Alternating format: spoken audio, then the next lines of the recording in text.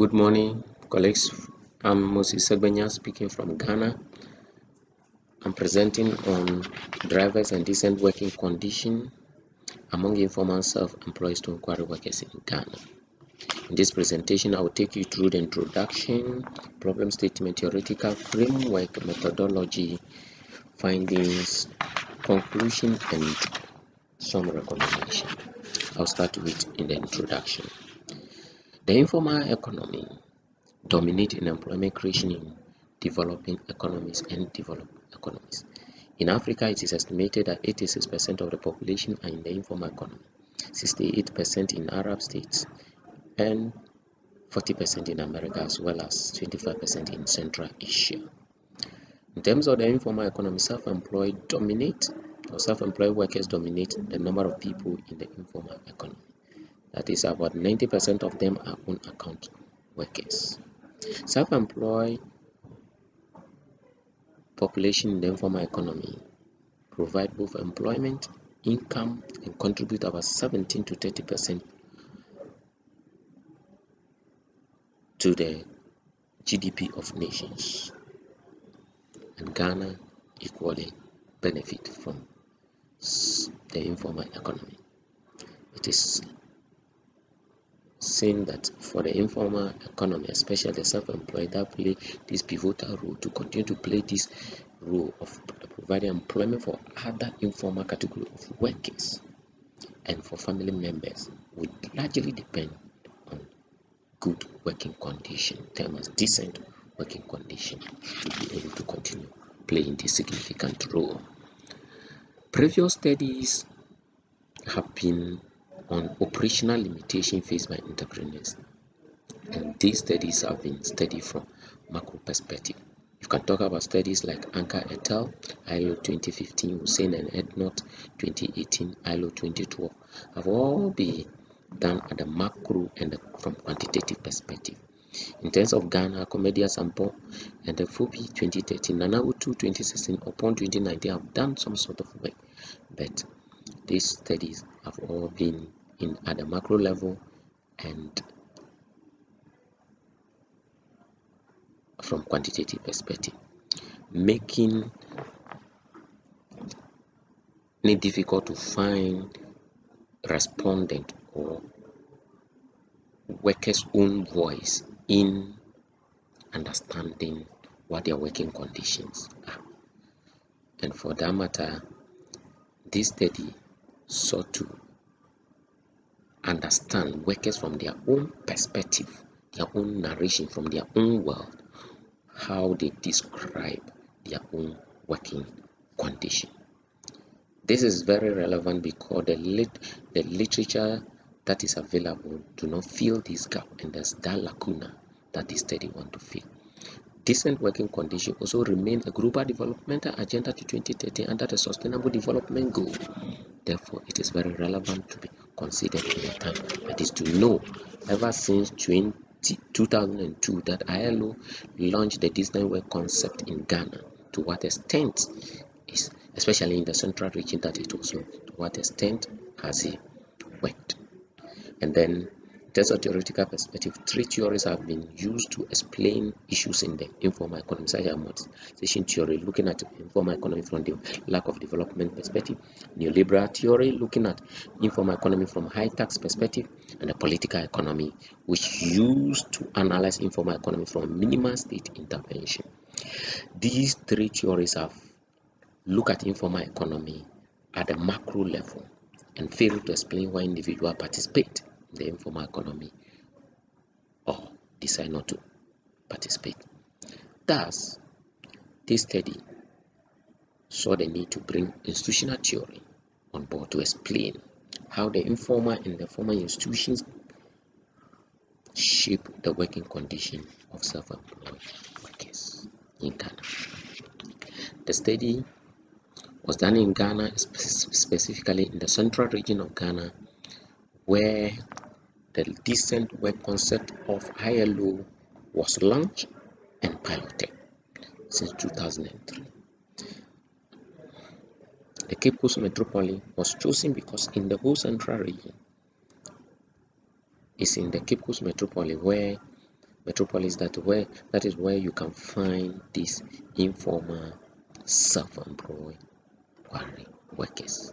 There are other informal quarry workers, but they are workers, employees who are working and with uh, formalized organizations, companies. For that matter, they do not fall under this the focus of this study.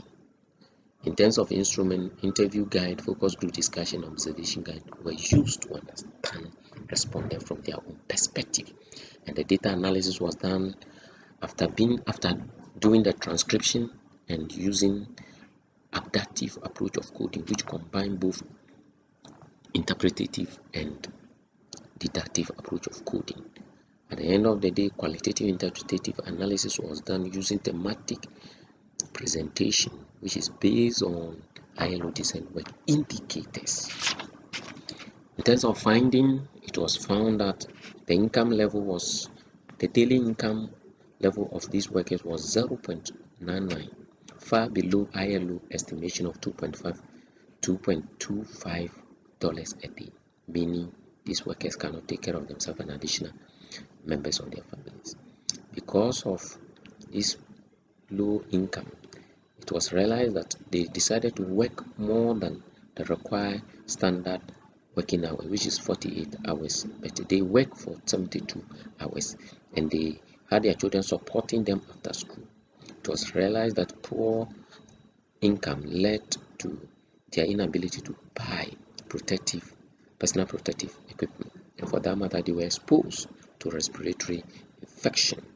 And the hospitals in this area or these areas were sampled. And it was confirmed that several of these workers reported respiratory tract infection at these health facilities and it was key to know that they do not even take into consideration the long-term effect of silicosis which is incurable due to the dusty working environment they do not have any formal social security provision except that they invest in their own children to take care of them. There was no state provision for both medical care and social security. Organizing, they don't have any formal organizing, but they have membership-based organization, which is a welfare sort to take care of. But that also became a defunct.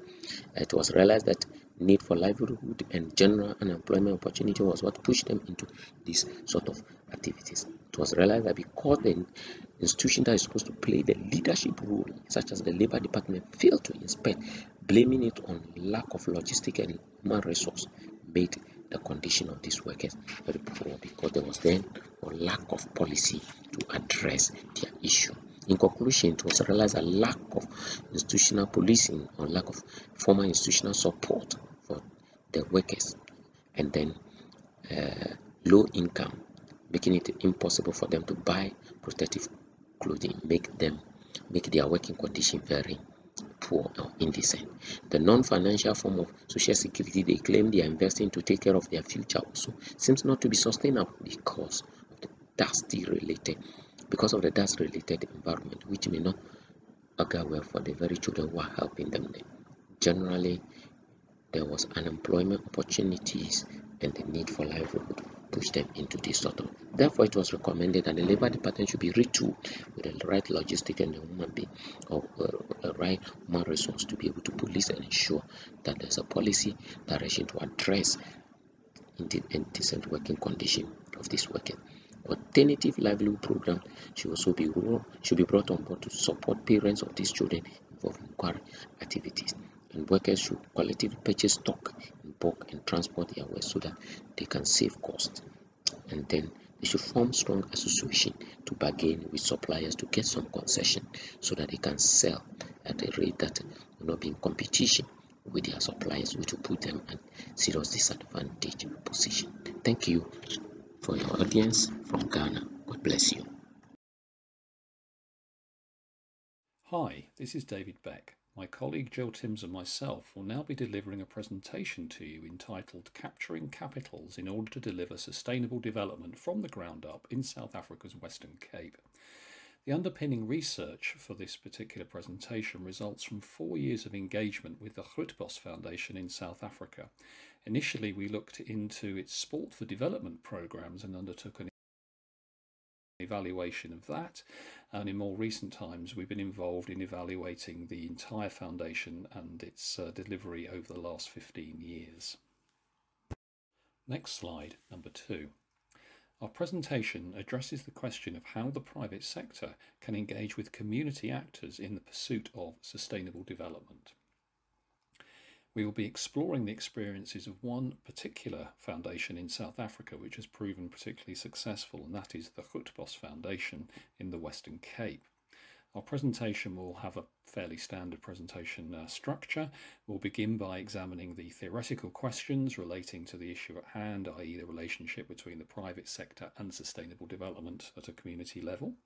We'll talk about the context for our case study, provide some background to the foundation and its mission, then we will look at its programs, a quick snapshot of some of its impacts, which show how incredibly successful it's been. Then we will move on to the more evaluative part of the presentation, where we'll consider what have been the actual drivers for the Foundation's success, which we will show has occurred through the ability to capture certain key capitals. And then we'll reflect upon the findings within the context of our theoretical framework. I'll now hand over to Jill, who will talk about the theoretical background to this paper considering the private sector's role in development. So, on to new slide number three. Hello, and I'm very pleased to be taking part. So, I'd like to just start with a stepping back to consider the wider context of the relationship between the private sector and sustainable development seeing this as part of the continually evolving discourse and practice of corporate social responsibility, where businesses are called on to be a force for positive development, such as in the organisation Business Fights Poverty. Recognising the critics of corporate social irresponsibility, which might include scandals or human rights abuses, and as well seeing the increasingly tangled lines of responsibility that result from, for example, complex supply chains and ownership structures. One thing we can say is that role of business in development and also the expected standards of ethical practice can be seen to reflect power relations in the global system. So, this might be where CSR can be considered as imperialistic, orientalist, or ethnocentric. What we'd like to do with our case is to see how these types of international CSR programs can play out on a global stage and how some of the pitfalls might be avoided through community engagement. New slide number four. The foundation is linked to the Grootbos Eco Lodge, which is located in South Africa's Western Cape province.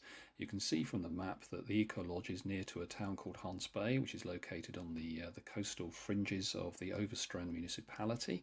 It is about 200 miles uh, away from Cape Town, which is found to the west.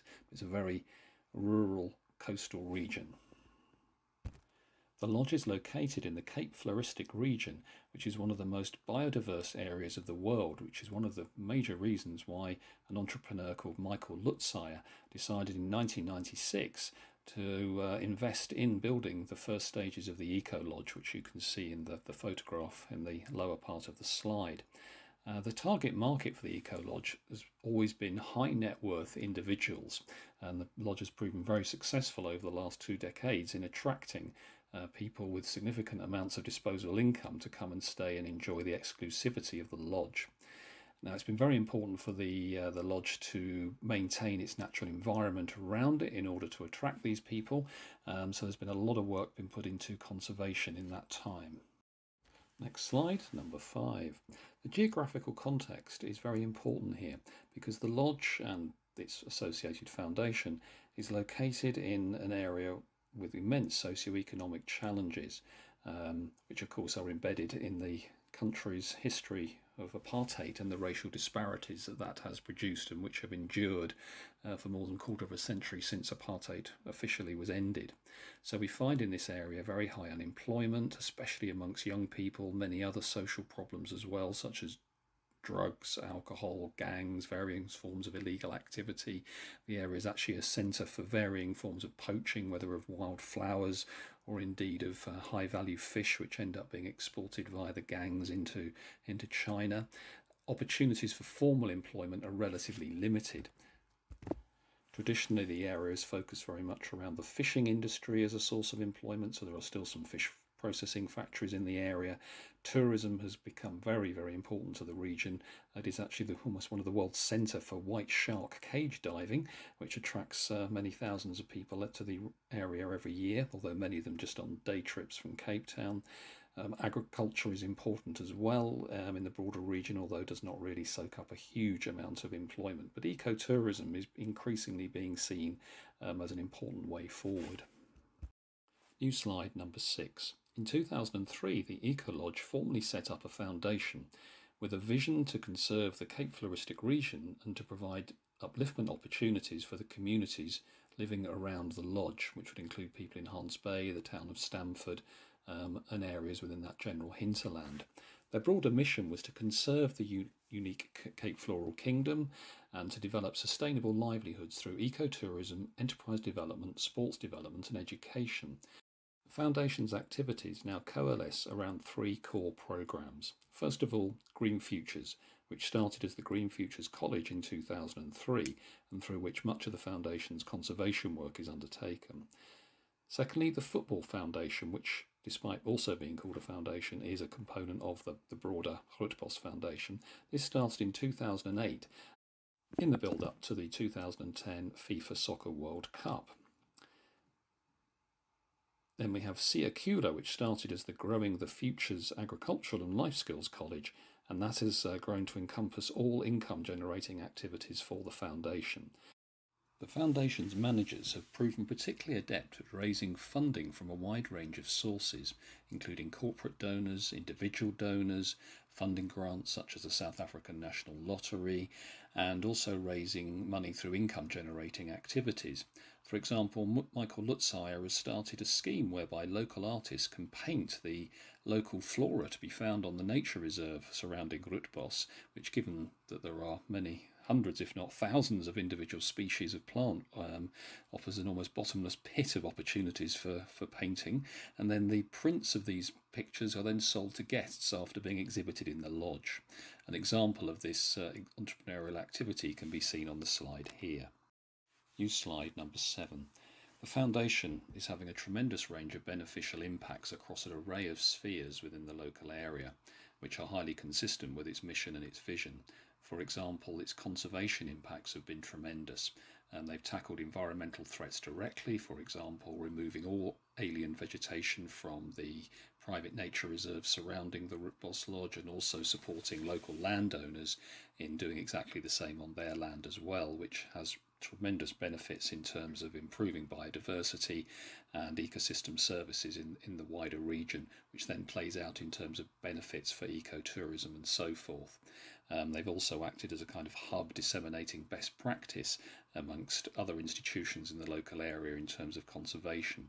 The impacts on society have been tremendous through sport for development programs, promoting gender education, citizenship, um, and providing a lot of support for the more disadvantaged folk in society. For example, during the ongoing COVID 19 um, pandemic, there have been tremendous problems in terms of uh, access to, to food. You know, food, food insecurity has been a very notable problem, and the foundation has acted very quickly to support pe- people within the community. There have also been notable impacts upon the local economy. Jobs have been created directly indirectly through the training opportunities provided through the foundation and also through the career path opportunities that have been available within the lodge itself. And we'll talk a bit more about that on the next slide. And the institutional fabric of the region has also been strengthened because the lodge has acted as kind of like a glue for different types of organisations, such as community based organisations, local government, um, local businesses to come together and to connect with um, sort of national and international players. And what's been critical here has been the foundation's reputation and standards, which have been critical to its credibility. And just as one stat to try and capture this, um, according to our evaluations, the foundation has interacted with 30,000 local beneficiaries over a period of 15 years. New slide number eight. So just to give one quick example of the outcomes from one particular program, so if we just look at the Green Futures activities, um, Green Futures has provided opportunities for people to be trained in guiding, food and beverage, uh, housekeeping and horticulture, um, reaching out to over 200 individuals in the last few years. And the analysis indicates that the folk who've been through this training have enjoyed much higher employment rates than uh, than is average in the region or indeed nationally, and that people's longer term incomes are tend to be enhanced by 20%. And very importantly, in these areas where underemployment is a huge problem is that many people are able to access promotion opportunities as well relatively quickly after starting their work due to the quality of the training they have received through the Green Futures programs. Next slide, number nine. So, one of the most interesting aspects of um, the foundation is its relationship with the Grootbos Lodge itself. Indeed, the two can be described as having an intrinsic, symbiotic, mutually beneficial relationship. Indeed, people say it's impossible to imagine the one without the other.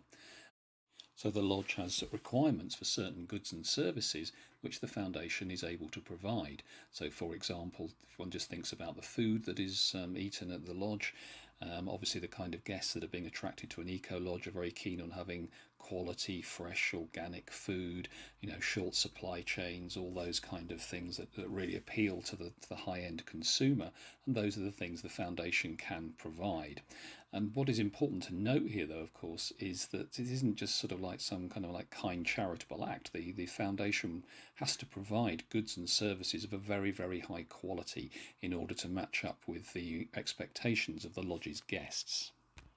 And through the lodge, the foundation is able to gain access to donors. After all, these are high net worth individuals who often work for major corporations who will stay at the lodge um, which can quite often lead to uh, donations of one form or another, access to networks, and a lot of pro bono stuff happens as well, just in terms of access to um, advice around finance, accounting, marketing, and so forth. And all these things provide the foundation with a great number of advantages which help it to operate with strong governance and to be able to operate highly effectively. Next slide, number 10. So let's step back and ask ourselves why has this foundation been so successful? After all, it's reached a wide number of beneficiaries, it's been able to operate in a financially successful way, it's been able to attract a lot of external attention, a lot of awards, funding keeps on increasing, more donors seem to be prepared to uh, you know provide money for the fund and the demand is greater. And of course it also has strong acceptance in the local community. All these things are very important indicators of success. So, what have been the drivers behind all of this? Well, we boiled it down really to the ability to pull together three forms of capital financial capital, human capital, and social capital. Um, and it's the way these three interrelate that has enables the uh, foundation to continue to operate in a highly successful way. So, they can attract funding, they can entice donors, they can generate increasing income. They're able to attract and retain skilled, knowledgeable, and passionate staff, which um, is, is an incredible benefit to the to the organisation. There is very strong leadership, a culture of teamwork, and they're also able to draw volunteers from across the world. And social capital underpins it all. There is a degree of high degree of trust, uh, locally, regionally, nationally, and even internationally, with with the foundation and the, the lodge which oversees it. Um, was a high level of legitimacy, which, given the political sensitivities around a lot of their work, is a you know very significant achievement. Ability to access networks and to gain influence. All these things come together and enable the lodge and the foundation to deliver highly successful programs for sustainable development. New slide number 11. So, what have been the notable features of the project in terms of the relationship with uh, the private sector? So, just quite quickly, we can say that local stakeholders have successfully connected with international corporations. You know, the project has involved, for example, links with Barclays Bank, Absa Bank, uh, the Premier League soccer in, in the UK, uh, as well as some German corporations as well, and it's been able to draw down upon the latter's financial and human resources, and these have been critical factors in, in leading to the success of the foundation. Equally, engagement with the project has enabled those corporations to meet their own strategic targets, whether in the realms of reinforcing their license to operate within their markets or meeting CSR targets. And the critical thing has been the trust those corporations have had in Grootbos and its governance structures. The end result has been a sustainable and resilient project which has not been caught up with red tape or subjected to political capture. New slide number 12. So, a few brief reflections to draw this together. And the first is how useful it is to actually study mega events, as they're really quite unique opportunities that show what's possible when local stakeholders get the chance to engage with major corporations at the same time as corporations are able to free up budgets for their CSR program because of the exposure they're going to get via this global platform. And we can see when these elements come together, there are three key parts that have been very important in this case. The first is a very strong institutional context being necessary where the project's embedded in all levels of organisation. Also, the need for strong management and effective networking to really enable local stakeholders to make the most of the influential networks they are connected to. And finally, effective governance really being about incorporating transparency, accountability, and responsibility throughout all elements of the project. Okay, thank you. New slide number 13. And here are the key references we've used in drawing together this presentation. Final slide, number 14. Well, thank you very much for watching and listening to this presentation. Um, we hope you'll agree that this is a particularly interesting example of development from the ground up, um, whereby a foundation has successfully worked with the private sector in order to provide a range of sustainability outcomes in terms of the environment, the economy and society. We look forward to your questions. Thank you.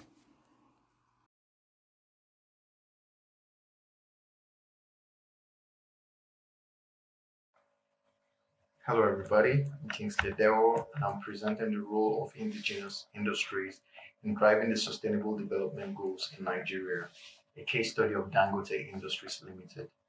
Indigenous industries play crucial roles in the industrialization process and economic growth of both developed and developing countries. This they do by enhancing regional economic balance, putting an end to capital flight, creating employment opportunities, and promoting resource utilization necessary for economic development and growth. Extractive industries are those whose primary activities involve extraction of natural resources, which directly impact the environment. Mismanagement of these activities could be detrimental to the environment and the livelihood of host communities in which they are located. And we have seen this occur several times in the past with um, host communities and extractive industries, one blaming the other for inadvertently polluting maybe a waterway or destroying farmlands over the years. This paper examined the actions of Dangote Industries Limited Nigeria, DIL, in driving development and achieving SDGs. The paper also identified if there was a deliberate action in DIL in terms of company policies or directives that facilitated the achievement of SDGs. Dangote Industries Limited was established in 1978 with sole aim of providing local value-added products and services that meet basic needs of the populace. The company is headquartered in Nigeria with operations in 10 African countries. Dangote Industries Limited has several subsidiaries which include uh, cement production, Dangote Sugar, Dangote Flour, Dangote Salt, Dangote Beverages, pasta, and real estate. DIL is currently investing in the oil and gas sector, petrochemicals, fertilizer, and agricultural sector. In Nigeria, Dangote Industries Limited has four companies listed in the Nigerian Stock Exchange as part of its vision of being a world-class organization. These companies include Dangote Sugar Refinery PLC, Dangote Cement PLC (DCP), Dangote Flour Mills, and Nascon Allied Industries PLC. Dangote Cement PLC is the leading cement conglomerate in Africa and Nigeria's biggest indigenous com- company. It's an important part of DIL, and the DCP is listed on the Nigerian Stock Exchange, but is owned primarily by its parent company, Dangote Industries Limited. With operations in three different locations in Nigeria and across 10 African countries, the social, environmental, and economic impact of DCP is significant and diverse. As a leading extractive global company, as a leading global extractive company, DCP is committed to ensuring that their operations are fully aligned with the group-wide sustainability vision. The strategy used by Dangote for their sustainability leadership drive is premised on three key ideas. One, the foundation, with the aim to play to create new value. In this, in the uh, with this idea, Dangote complies. Dangote Industries Limited complies with internal policies, Nigeria's internal policies, international standards and regulations, and has implemented new data gathering system to raise effectiveness and manage risks quicker. The second key idea is the change in management which which is premised by the play to capitalize. Here, Dangote Industries Limited has developed an internal culture to enable transformation across the whole group.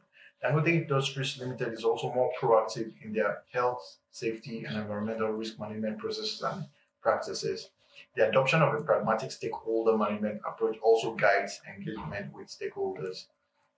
And lastly, and most importantly, is the leadership play to win idea. By strengthening market leadership and their position in sub-Saharan Africa, Dangote Industries Limited has shaped their transformation in a more responsible manner. Now, uh, the Dangote way. This is um, this this this key term is it, it, guides their actions. This is their principles and leadership ideology.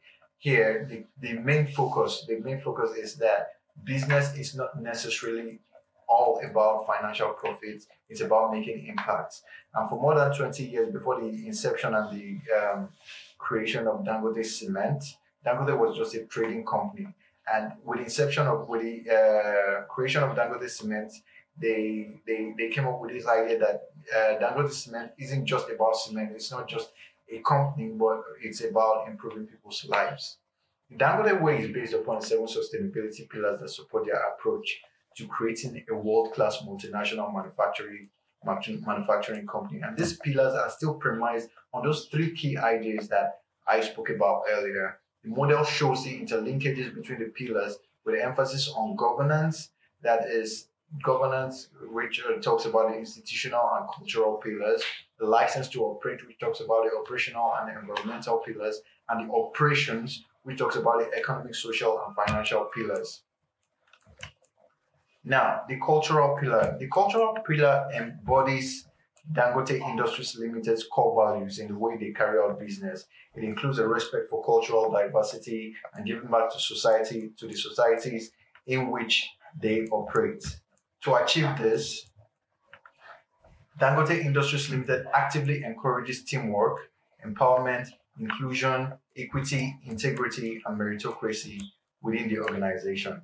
Now, these cultural pillars are also in line with the regulatory, the regulatory policies of the diverse organizations to which um, Dangote belongs.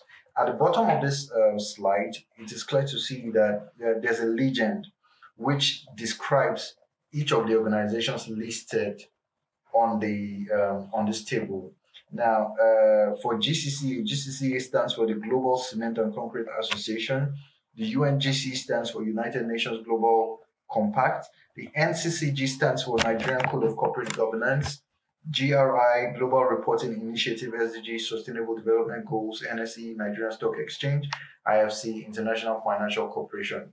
if you look across the, the, the table, you'll see that while complying with these um, regulatory policies, Dangote has also been able to achieve SDG Goal 4, that's quality education, SDG Goal 5, gender equality, 10, reducing inequalities, 11, sustainable cities and communities, SDG 16, SDG 17. Now, uh, moving on to the financial pillar, it's also clear here that Dangote, that to achieve sustainable financial health through a business model that delivers strong returns to shareholders whilst creating value in the economies in which Dangote Industries operates. Dangote has decided to sell high quality products at affordable prices, and this is supported by excellent customer service. And while doing this, this financial pillar, it is clear to see that Dangote has been able to achieve SDG Goal 8, which has to do with decent work and economic growth, and SDG Goal 11, sustainable cities and communities. For the institutional pillar, Dangote has decided to build a world class institution centered around corporate governance, best practices, and sustainable, sustainability principles that promote legal and regulatory compliance, regulatory compliance, transparency, and business continuity. So while doing this, Dangote has also been able to achieve SDG Goal 8, decent work and economic growth, 16, peace, justice, and strong institutions, and SDG Goal 17, partnership for the goals. For the um, for the economic pillar, here, Dangote, Dangote's drive is to promote inclusive, sustainable economic growth, self reliance, self sufficiency, and industrialization across Africa by establishing efficient production facilities and developing resilient local economies in strategic locations and key markets. And whilst doing this, while based on while, while using this pillar, it is clear that Dangote has been able to achieve SDG goal 1, 2, 8, 11, and 16. For um, for the environmental pillar, Dangote Design, uh, Dangote Industries Limited creates sustainable environmental management practices through a proactive approach to address the challenges and opportunities of climate change while optimizing their performance in energy efficiency, water usage, and emissions. Whilst doing this, whilst using on this pillar, they've been able to achieve SDG goals 6, 7, 9, 12, and 13. For the operational pillar, Dangote has been able to achieve SDG goal 8, 9, 12, 13. The aim here is to serve and satisfy their markets by working together with partners to deliver the best products and services to valued customers and stakeholders through continuous um, product improvement, new business development, employing state of the art technologies and systems to constantly optimize um, cost efficiencies. For the social pillar, which is a very key pillar on which um, Dangote Industries Limited uh, operates, Dangote, Dangote Cement uh, creates a learning environment and a platform that allows their employees to grow and achieve their full potential whilst adhering to the highest standards of health and safety. Now, whilst doing this, they've been able to achieve SDG Goal 1, that's no poverty, SDG Goal 3, good health and well-being, SDG Goal 4, quality education, SDG Goal 5, gender equality, SDG 10, reduce inequalities, SDG 16, and um, yeah, which is peace, justice, and strong institutions. Now, um, in the course of the year 2018, Dangote Industries Limited spent a whopping 1.5 billion naira on corporate social responsibility, and a major chunk of this amount of money was spent on donations and grants to the government, with uh, another being donations and grants to charity and um, health and um, health infrastructure and donation and grants to host communities. Some of the ways in which Dangote drives the sustainability is um, they utilize extensive stakeholders management, materiality assessment, and baseline surveys against global peers. They train and engaged 500 sustainability champions, including management of all DCP Africa plants on sustainability reporting based on GRI global standards. They deployed Sustainability Week, which mobilized hundreds of employees to engage in voluntary waste management, community infrastructural development, and boost social performance across seven African countries and nine DCP plants. Dangote Industries Limited also drives sustainability by developing SharePoint sustainability data management systems for data collection across 13 DCP Africa plants for sustainability reporting, which is to be which have been automated by 2019. Now, various initiatives they also carried out in 2018 include um, some in Nigeria, which included um, environmental sanitation and economic impact project at their headquarters at Oniru Block Makers Village, that's in Lagos. Ibese, donation of materials to Ibese Markets Women, some others, and um, across Africa, in Cameroon, donation of educational materials and visits to bilingual secondary schools, that's at the Diedo. In the Congo, rehabilitation of clinics and roads in Bunza district. In Tanzania, tree planting around plant and sustainability awareness programs for plant staff. In Ghana, beach sanitation in Tema. In Senegal, plant sanitation and sustainability awareness programs. In conclusion, it is clear to see that Dangote Cement PLC is the only subsidiary of Dangote Industries Limited that has consciously included sustainability in every aspect of our activities. And the cultural pillar, the, the DCP sustainability pillars, as stated earlier, the seven pillars are linked with 15 of the 17 United Nations SDG goals, SDGs. And the cultural pillar provides a framework for integrating sustainability into their business processes and values. Uh, in this in this slide are um, images as obtained from the 2018 Sustainability Week, um, initiated and implemented by Dangote Industries Limited. Thank you very much, and do enjoy the rest of the conference. Thank you.